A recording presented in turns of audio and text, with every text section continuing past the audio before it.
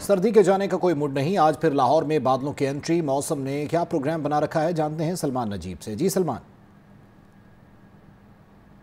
حال ہے، وہ اس وقت یہ ہے کہ آسمان کے اوپر اس وقت کالی گھنگور گھٹاؤں نے اپنا بسیرا جما رکھا ہے۔ اور جو آئندہ آنے والے چند گھنٹے ہیں یعنی کہ بارہ بجے کے بعد کل اور پرسوں جو ہے، وہ بارش برسنے کے کافی قوی امکانات ہیں۔ محکمہ موسمیات کی جانب سے بھی یہ پیش گوئی کر دی گئی ہے۔ جبکہ گزشتہ چند دنوں سے ہم نے یہ دیکھا کہ جیسے ہی شام ہوتی ہے تو بادل بھی آ جاتے ہیں، ٹھنڈی ٹھنڈی ہوائیں بھی چلنے لگ جاتی ہیں اور ہلکی ہلکی جو کنمن ہے وہ بھی سٹارٹ ہو جاتی ہے۔ جبکہ جو بارش کا سلسلہ ہے، وہ رات گیارہ سے بارہ بجے کے درمیان کافی کافی تیز ہو جاتا ہے۔ تو یہ یہ جو ایک نیا سپیل آنے والا ہے، اس کے اندر بھی رات بارہ بجے کے بعد یا بارہ بجے جو ہے، وہ کافی تیز بارش بھی ہونے کے امکانات ہیں۔ جبکہ جو ہلکی موسلا، جو ہلکی ہلکی بارش ہے، جس کو کنمن کہتے ہیں وہ بھی متوقع ہے۔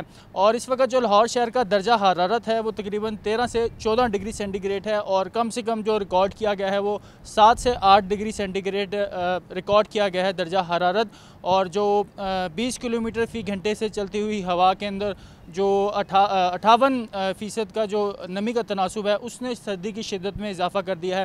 موسم بہت خوشگوار ہو چکا ہے اور جیسا کہ میں نے بتایا کہ کالے کالے بادلوں کا راج ہے اور یہ ٹھنڈی چلتی ہوئی ہوا بھی جو ہے، وہ لاہور شہر کی طرف سے، پاکستان کی طرف سے بھی امن کا پیغام دیتی ہے۔ جی۔ ٹھیک ہے، بہت شکریہ آپ کا، سلمان نجیب۔